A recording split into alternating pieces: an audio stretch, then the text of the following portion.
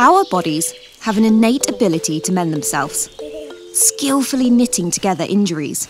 But as we age, the cells that action this healing process become inefficient. This has serious implications if we injure ourselves when we're older.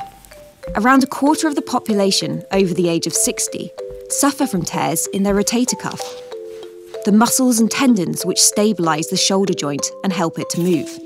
This condition is often extremely painful and can lead to difficulty doing even the basic activities. Traditional surgical treatments are often unsuccessful, but scientists at Oxford University, working on groundbreaking bioactive technology, have found hope.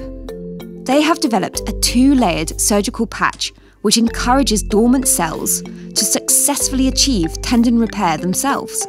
The first layer is made using a new technology called electrospinning which creates delicate synthetic fibres which resemble the natural structure of the tendon, so closely that the body's cells recognise and respond to them.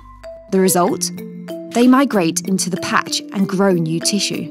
The second layer is made of larger fibres, which provide strength and protect the repair as the tissue heals. After a while, the patch degrades to harmless byproducts, leaving only repaired tissue in its place. Now, the researchers are looking at how to produce this remarkable invention in larger quantities under controlled, clean conditions to help the millions affected by rotator cuff injuries.